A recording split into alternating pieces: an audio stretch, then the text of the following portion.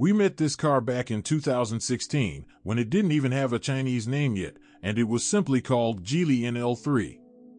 It was the latest development of the company at that time, which was brought to the Moscow Motor Show as a promising model, but we already talked about everything in great detail. We discussed the design developed under the leadership of Peter Horbury, the main technical features, which were largely determined by cooperation with the controlled brand Volvo, and his, as they say, rich inner world.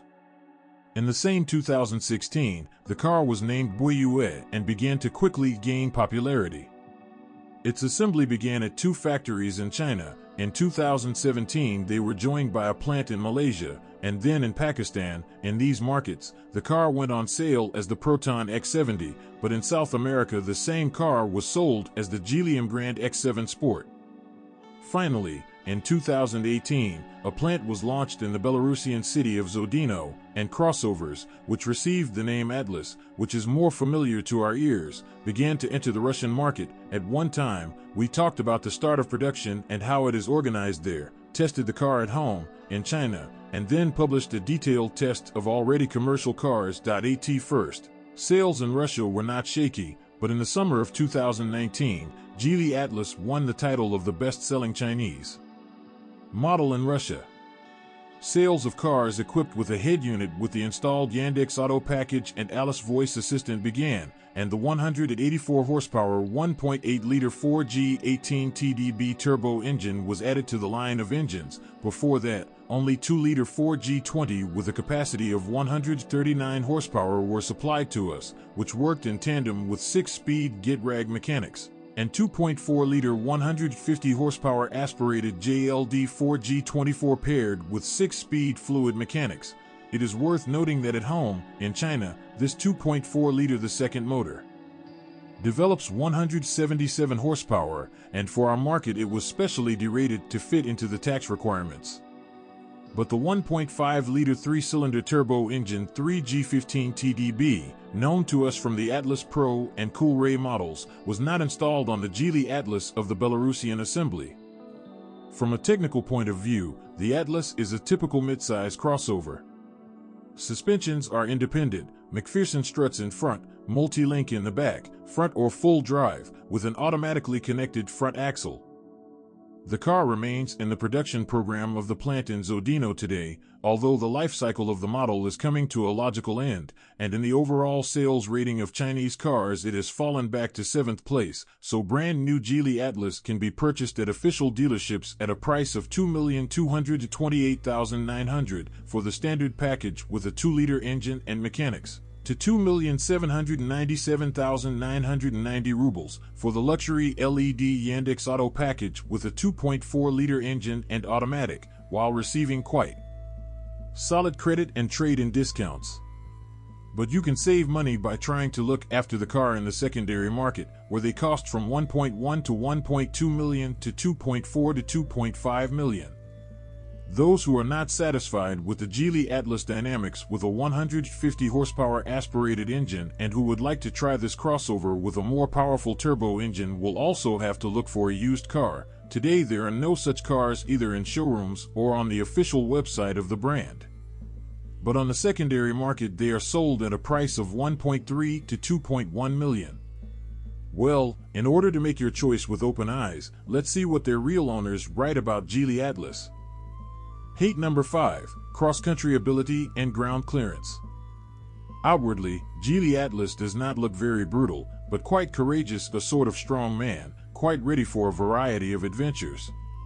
It's just worth it right away, at the selection stage, to take into account that the cross country ability of this car cannot be called champion even within the crossover class. Actually, the authors of reviews on the internet frankly indicate that the main contradiction of the model is the combination of a very good all-wheel drive with not the most outstanding ground clearance, which, according to official data, is 190 millimeters. And this is not to say that it's a lot. Passability through snowdrifts, it will crawl until it sits on its belly, and the belly hangs low enough, not a Jeep, however, this must be remembered, the suspension travels are quite large, but the ground clearance leaves much to be desired. What the Atlas really lacks is a slightly stiffer suspension and ground clearance plus another 4 centimeters. On top of that, as a rule, even at the stage of pre-sale preparation, dealers equip the car with additional protective elements. On the one hand, this is good, since the likelihood of damaging vital components when driving off paved roads is reduced. But on the other hand, there is a minus any installation of elements of this kind reduces the already small clearance. As the owners write, the clearance is heavily stolen by all sorts of protections, engine, tank, clutch. There is a temptation to use the car off-road, but here the crossover clearance intervenes. 190 millimeters is declared, in reality, I think, less, and even less with installed protections. Clings to bumps, scratches. When installing a metal crankcase protection, the clearance is 170 millimeters. Not enough for a crossover.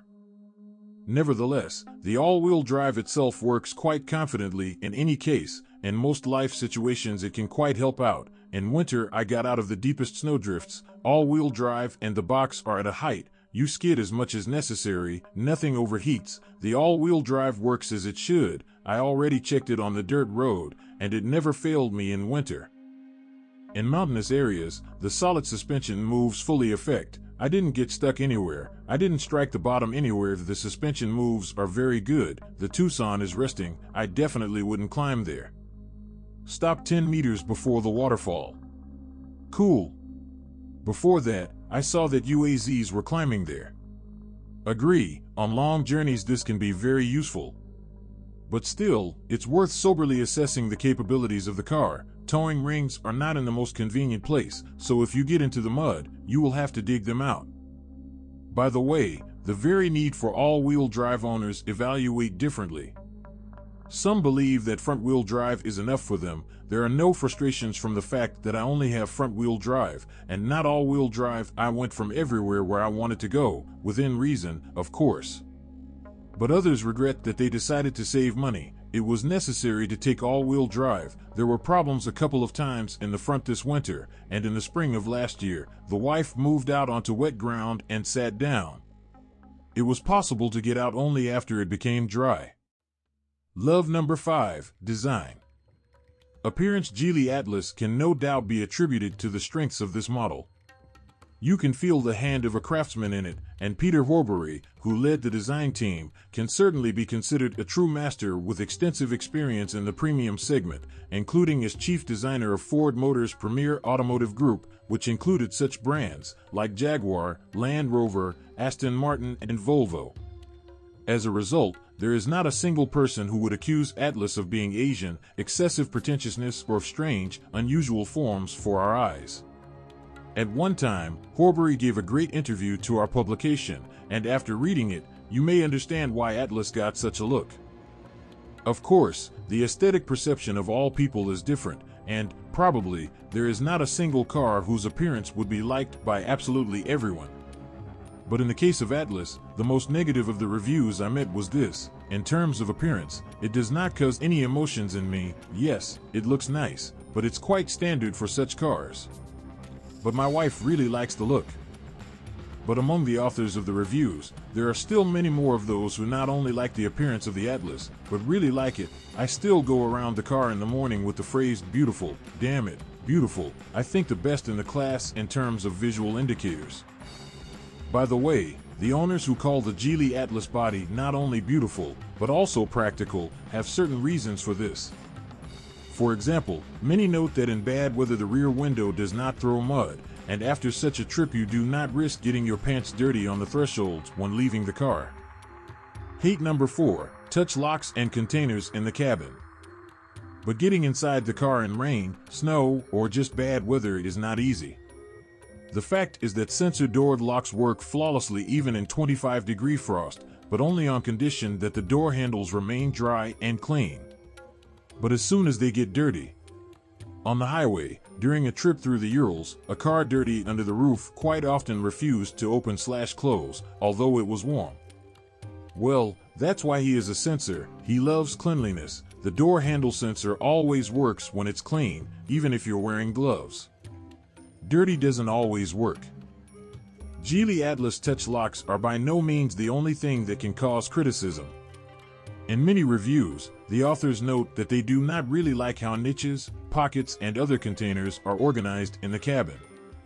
I don't understand at all why the niches are made in front along the edges of the tunnel. Their size is such that a modern phone does not fit there. Under the lighter? Or maybe a pager? Well, or under the old push-button cellular type of the 25th Siemens, they are perplexed. The door pocket is also very narrow. Well, I don't like to take a few bottles of 0.33 on the road. I'd rather take a liter or even 1.5 liters. And this pocket is such that even a liter bottle does not fit in there. And very contradictory assessments of the trunk. For different authors, they can diverge in the most diametrical way. Some write that the trunk is just gigantic, others that the trunk is frankly small, through a stroller and three to four more bags from the supermarket, and that's it. Others say that the Geely Atlas trunk is just a trunk, which, in principle, is enough for everyday needs. Even about the presence of solid containers under the raised floor, around the stowage, the owners note in a diametrically opposite way. It seems to some that this is an excellent solution. If you look into the compartment with a spare tire, there is more than enough space. Almost all rubbish can be stuffed in there. There is a stowaway under the shelf, and there is a lot of free space around it, where you can put a lot of things you need keys, a pump, a rope, so that they don't hang around the trunk, all the junk, and there is a lot of it, which I previously carried in the trunks of other cars in baskets, went into the underground, to the spare wheel. This is my first car with a completely empty luggage compartment. And it seems to someone that the trunk is two layer, and this is more a minus than a plus. Love number four, interior quality, ergonomics, nice touches. As for the salon, and the vast majority of reviews, the authors praise it. First of all, they like the build quality and finishing materials, greatly done interior. Details are fitted, as in a decent European car, the salon is beautiful and modern. The front panel and instruments are beautiful and strict, leatherette, with a high claim to genuine leather. There are, of course, small remarks, for example, that a completely readable dashboard is literally stuffed with all sorts of information so that you don't immediately find the numbers you need, but you get used to it over time. The quality of the materials is evidenced by the fact that even after two or three years of operation, the leather in the cabin is without scuffs, the steering wheel too, the plastic is like new. True, not everyone liked the steering wheel itself, the material is terrible, like some kind of rubber, thin and not responsive. It's inconvenient to drive, and in so many reviews there are complaints about the insufficient range of steering adjustment for reach. In several reviews, the authors complained about the unpleasant chemical smell in the interiors of new cars. The most unpleasant thing in the cabin is the smell. It's been two weeks now, and it hasn't faded at all. There was a slight smell in the cabin for 600 kilometers, three weeks. But a number of owners are ready to challenge these statements. There is no smell of cheap plastic. There was no smell of terrible plastic. In general, there are no serious complaints about the ergonomics of the driver's seat. Everything is convenient, ergonomic, intuitive, everything is like the Europeans and Koreans. Sat down and went, I rode on many things, but the way the landing on the Atlas is implemented is beyond praise. My height is 187 centimeters, my wife is 162, and the adjustment range for a comfortable fit is plus or minus 20 to 30 centimeters. The seats are class. Of course, you won't please everyone. Someone thinks that the driver's seat is too shifted to the left, and you rest your shoulder against the rack. Someone would not mind if the driver's seat received adjustable lumbar support, but even without it, everything is very good. Just returned from a vacation in Sochi, drove a total of 3,700 kilometers. On the way back, I spent 15 hours behind the wheel in one day, and my back was not tired at all. The owners are especially pleased with the space and comfort on the second row, places for rear passengers at least play football. The heating of the armchairs and the sofa works both on the seats and on the backs. There is more than enough space in the back. The daughter disposed of the rear space all the way, as if it were her own travel room. Well, in addition to a high quality, well assembled, convenient and very comfortable interior, in general, the word comfort is very often used in reviews of the Geely Atlas, and it can be considered key in characterizing this car. The authors of the reviews note small, but very pleasant little things. For example, the quality of door seals, dust-proof 5 points out of 5. The interior is clean, you feel like a person. There is a dense half centimeter layer of road and mountain dust on the wheelbarrow, the car is clean. A lot of people like the ability to control the right front seat from the driver's seat. Adjusting the passenger seat from the driver's side is a mega convenient thing for traveling with a child. The control of the passenger seat from the driver on the electric drive is implemented very conveniently. A trifle, but nice. Or take the location of the USB slots. Not everyone likes the fact that such a slot and a 12 volt socket are hidden in the box armrest, although this is a rather traditional solution, but the reviewers consider the presence of a USB output near the salon mirror to be a great idea. Indeed, I bought a small cord and connected the DVR without unnecessary dismantling of the cladding. In a word, a very friendly interior, both for the driver and passengers. It is no coincidence that sometimes this is what becomes the decisive factor when making a purchase decision. My wife said that she didn't want to get out of the car, and at that moment I realized that Atlas would be bought by us. Hate number 3 Boring Dynamics and Brooding Box. No one expresses particular enthusiasm about the dynamic potential of Geely Atlas. In our country, cars with three variants of four cylinder gasoline engines were actually sold two aspirated, 2 liter 4G20 and 2.4 liter JLD 4G24, as well as a 1.8 liter 4G18 TDB turbo engine. It's not worth talking about the 2 liter version, which was also equipped exclusively with mechanics. It was not initially popular. At present, there are simply no such cars in showrooms, and there are very few of them on the secondary market.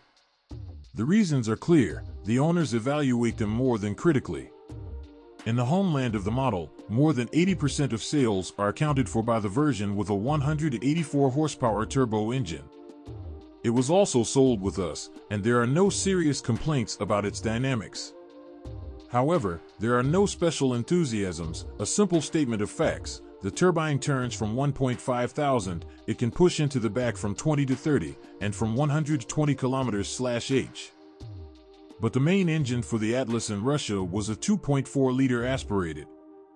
There are exactly two reasons for this. Buyers did not want to mess with a turbo engine, fearing that it would turn out to be unreliable. Well, and the price factor. And as a result, some of those who preferred a more reliable atmospheric tick to a turbocharged crane expressed their regrets in the reviews. I regret that I did not pay 100,000 rubles in due time and did not take 1.8T. I'll take my words back if the 1.8T after 100,000 runs starts to give out problems and pull money out of the owners. Well, the topic of the dynamics of 2.4 liter Atlases has become the subject, if not of discussion, then of quite active discussion. Someone speaks very radically, on this heavy, almost 2 ton barge, the 2.4 engine is simply dead by nature. Yes, this is an old engine, rooted from Toyota, but there was about 164 horsepower, and here 150 horsepower, and even the box in third gear does not spin up more than 4,900 RPM. If in the city Atlas copes well with everyday tasks, then on the highway, in the absence of oncoming cars, while you overtake a trucker, a car is already coming towards you. The bulk of the owners speak in a calmer manner, but everyone admits that this is not a sports car, especially with an automatic, and you should not expect miracles from it. The car is able to confidently start and drive in the stream, rebuild if necessary with acceleration, accelerate within their capabilities and nothing more. But here I don't feel flawed in it a bit. And one more thing, in order for Atlas to depict at least something resembling active acceleration, you need to feel free to press the gas pedal. The gas pedal works in a peculiar way in tandem with the gearbox. You need to get used to it. Indeed, not only the naturally aspirated engine is to blame for the modest dynamic capabilities of Geely Atlas, strangled from the original 174 to 150 horsepower in order to fit into the tax optimal zone.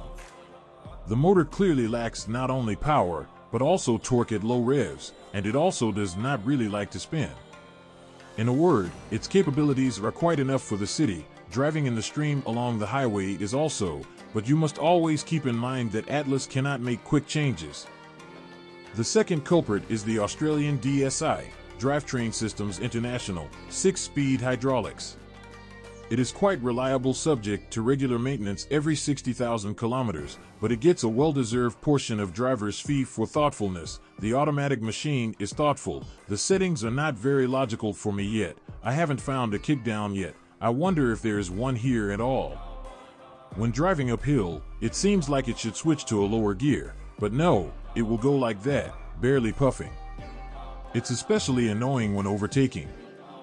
The box has sport and eco modes, but they do not cause much enthusiasm among the owners. If in the sport mode the box works even more or less quickly, then I don't understand why the eco mode is needed. I left almost a tank in this mode. I didn't notice any savings at all, but I felt like a snowdrop in retirement. Love number three, suspension, brakes, ride comfort. And this peace and comfort is provided by a perfectly tuned suspension. The suspension is nothing to write about. It is very comfortable. It works out bumps very well. It doesn't roll like on Jeeps, and it's not as tough as on modern crossovers. On the same Tiguan, its settings, I would say, are average, and for me it's just right for an almost two-ton car. It is clear that most of all the owners like the way the car behaves on our directions. It goes on the primer in general a fairy tale, colleagues at work appreciated it. But, as always, this setting has a downside, roll and roll in corners. For such softness, we pay with controllability. The main problem is lateral rolls and corners, rolls dangerously on corners. I think it makes no sense to describe how Atlas behaves on the highway. Quite a roll suspension requires slowing down before cornering, the owners note. Here, of course, a lot depends on the driver's temperament heels. Yes, the devil knows, I'm not a racer, but at 50 kilometers slash H the interchange on the Moscow Ring Road, with dry asphalt, passes confidently and does not fall. Well, in many reviews, the authors note excellent brakes. Brakes are shiny, transparent, and predictable. Further we press more braking force. Very effective, it has been tested, and during emergency braking, the emergency light comes on. Well, all this together allows the owners to talk about driving pleasure. If, of course, a calm ride can give them positive emotions, riding this car is really a pleasure. There is absolutely nothing to complain about in its behavior. It drives, as it should. The suspension works out, the reactions to the steering wheel are adequate, there is no need to adapt and adjust to anything at all. Hate number 2 Multimedia and Beyond. It would seem that there should be no problems at all with electronic devices in Chinese cars, because it is from China that a mighty stream of various consumer electronics comes to us, and many Chinese brands only confirm this point of view. Alas, in the case of Geely Atlas, everything is not so, and it was the head unit, as well as the speaker system as a whole, that became the target for many critical arrows. Let's start with the head unit itself. As the owners write, the multimedia control touchscreen is a little blunt, apparently, they fought not for sensitivity, but for strength. The PG version with the iGo navigation program does not work well. There are only maps for Russia, Ukraine, and Belarus, and the old ones, there is no routing through traffic jams. At the same time, it often fails to integrate existing smartphones, and the owners ask a completely reasonable question install an additional device for navigation, and I drive quite actively, absolutely nowhere. On the panel, close the review. Why then this regular big TV in the car? Speakerphone via Bluetooth does not always work correctly either. When listening to music, it works well, but what happens to it during a telephone conversation? When connecting via BT, my subscriber hears a crash, words fall out, the connection breaks. An even more paradoxical situation arises when the call goes through with the head unit turned off. The phone will still be connected, the instrument panel will show that the connection is in progress, but you will not be able to turn on the speakerphone even with multimedia active. We have to be distracted and call back, or just beat off the caller, the owners complain. Many problems arise when playing music from a flash card. The flash drive must be booted entirely, for which it is better to listen to the radio for about 5 minutes and only then switch to music from USB. After the car stops, the device starts playing from the first track in the list. At the same time, whether you like it or not, multimedia will turn on every time you start the car and far from being quiet. As a result, the owners complain, I use multimedia only for listening to the radio and for all-round cameras. The remaining functions, although declared, either work incorrectly or do not work at all. Recently, buyers have been offered a GU with a pre-installed Yandex Auto system, but it also collects no less criticism. In general, all the variants of the GU that Atlas was equipped with are scolded for the sound quality. I decided to make music in the car, it's sad. I changed the standard speakers to normal ones, and, to my surprise, the difference turned out to be quite small due to mid-frequencies. I realized that the head unit strongly cuts the lower frequencies, and the upper ones are strongly pulled up. At the same time, the owners of Geely Atlas make claims not only against music, they do not like that the electronics do not remember any selected settings, box operation mode, dashboard display settings, that the interior light, if you forget to turn it off, will be on all night, that the light sensor has excessive sensitivity, due to which the backlight of the radio and the dashboard is constantly blinking and switching. Onboard computer with a bunch of some functions that I still can't use. The algorithm for working with him was invented by the viceroy of the devil on Chinese soil. Maybe someone knows how to make the front parking sensors not turn off automatically. Every time you think that it is on, but it does not react in any way, while behind the gear lever, when D is stuck, it is not visible whether the light on it is on or not. Once the parking column didn't move a little. But it constantly turns on when you back out. The logic of the Chinese is just a bomb. Love number two, light and review.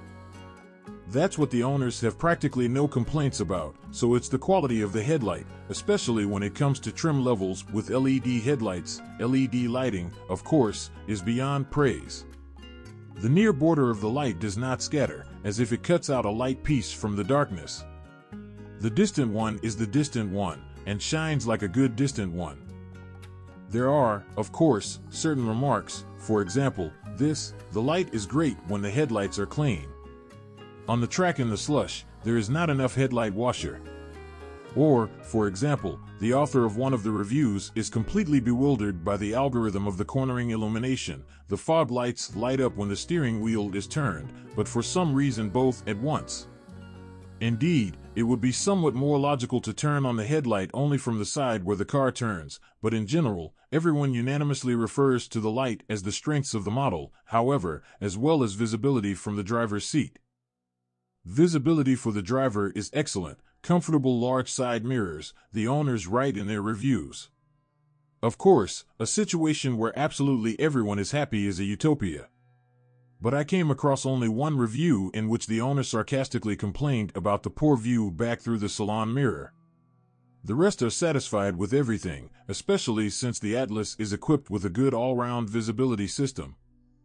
The 360 degrees panorama is more like a cartoon, but everything is clear and convenient when parking. You just need to get used to using this tool and be aware of certain limitations. The front camera, like the rear one with markings, monitors the distance to the bottom point, so do not try to drive up to trucks whose wheels are 3 meters away from you, according to the camera, and the body is already striking on your roof. Hate number 1 Fuel consumption and maintenance costs. Yes, fuel consumption has become a sore spot for Geely Atlas owners. Oddly enough, the owners of turbocharged cars take this issue quite calmly, although they do not express much satisfaction, fuel consumption. On the track, well, it's like driving. If, like me, periodically using the sport mode for overtaking, tumble in free areas, then from 8 liters or more. It is quite possible, I think, to achieve average performance on the track of about 7 liters. In the city, fuel consumption during the run-in started from 13.3 L/100 km on the AI 95-inch. Consumption, if you drive dynamically, is 13 to 15 liters per hundred. We have to turn into a pensioner, and then we have 9 to 11. Well, between the owners of cars with a 2.4 liter aspirated, fierce discussions flare up. Some argue that the consumption of the Atlas is 14 to 17 L/100 kilometers in the city and 9 to 12 on the highway. Agree, this is already a lot for a car that does not demonstrate the burrows of a prize trotter. Others argue that everything is fine. Fuel consumption in the combined cycle when driving at a speed of 100 to 120 km h does not rise more than 8.5 L 100 km, but on the highway it drops to 7.2 to 7.5 L 100 km. At the same time, everyone admits that the onboard computer is brazenly lying, underestimating the fuel consumption of a liter by 2 compared to the numbers that are obtained when calculating according to checks and mileage. Perhaps we can agree that on long trips the consumption will be about 10 L 100 kilometers and in dense city traffic about 13 to 15 liters. This is consistent with the statement that a tank of 95 octane gasoline is enough for 500 kilometers on the highway and about 350 kilometers in the city. In a word, it is not in vain that the owners warn do not expect economical driving at high speeds from the Atlas. She won't be but if you fit into the permitted speed limit, then the onboard computer will show 7.5 to 8.5 liters per 100 kilometers, which will correspond to the real 9 to 10 liters per 100.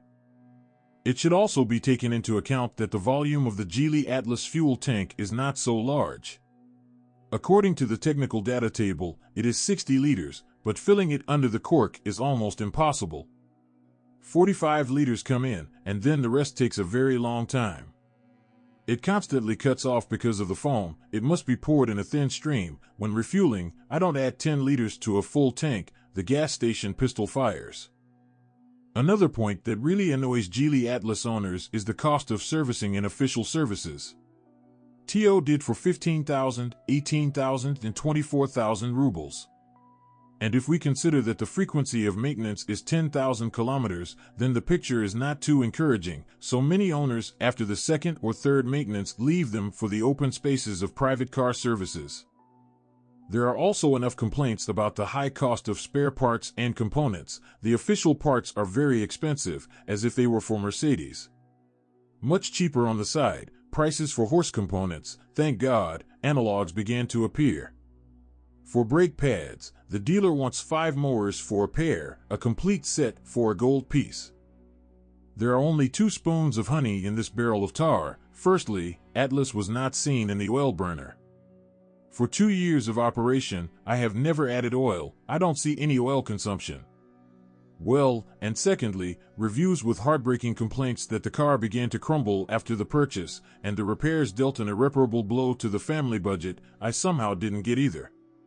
If the authors mention repairs, then somehow everything is trifles, replacing the wheel bearing, stabilizer strut, and even then under warranty. Of the three Atlas owners in my environment, none of them encountered breakdowns, cars of 2020 and 2021. In the general group of Atlas owners in the Republic of Belarus and the Russian Federation, no one spits poison in the direction of unreliability. Love number one, noise isolation, comfort, value for money. I have already noted that the word comfort is key when discussing Geely Atlas. We have already discussed both the convenience of the cabin and the smoothness of the ride. But the fact that the owners call acoustic comfort and sound insulation one of the main advantages of the model came as a big surprise to me, because when preparing materials for a column dedicated to much more expensive models of prestigious brands, I constantly had to deal with, with complaints about the noise in the cabin. And here the owners praise the soundproofing almost in unison. The cabin is very quiet. I repeat, be quiet. And, believe me, I have something to compare with. Super soundproofing is simply beyond praise, the owner's right, and there are still very, very many statements of this kind. Of course, perfection is unattainable, but in the worst case, the authors of the reviews advise to slightly noise the wheel arches, and then there will definitely be an almost unattainable ideal, since the noise from the engine and gearbox practically does not penetrate into the cabin anyway. Well, in the aggregate, all comfort factors make us perceive both the price of the car and the cost of its maintenance. You get into the car, and there is only one word in your head comfort, I don't know what will happen next and how the market will turn, but at the moment I consider the Atlas the best investment in terms of price slash quality and in terms of driving sensations. True, the moral support of the owners in some cases is not very superfluous because the number of haters of Chinese brands in the Russian automotive community is incalculable. I don't care if it's Chinese or someone else, I'm only interested in performance and comfort. The owners write in their hearts, and many commentators try to convince them that they bought a complete crap that will fall apart in 50,000 and which in a year they will not be able to sell even at half the price. True, these arguments are not yet true. As a result, there are not so many who want to get rid of Geely Atlas due to the fact that they did not agree on the characters, although, of course, such cases also occur. There are those who believe that Atlas is not worth the money that is asked for it, but there are still more of those for whom the advantages of the model outweighed its shortcomings. So this opinion can be called quite typical, almost two years with a car, and now there is no desire to sell it. Yes, the consumption, yes, it doesn't go, yes, something might still be wrong, but as soon as you sat down, started it up and drove smoothly, softly, comfortably, quietly, and with all-wheel drive through the mud, you begin to put up with the expense, a small trunk, by the way, yes, I remembered, the trunk is small. He just takes you in his comfort, every day, every hour when you are in it. Remember, dear reader, quiet, comfortable, unhurried, this is Geely Atlas.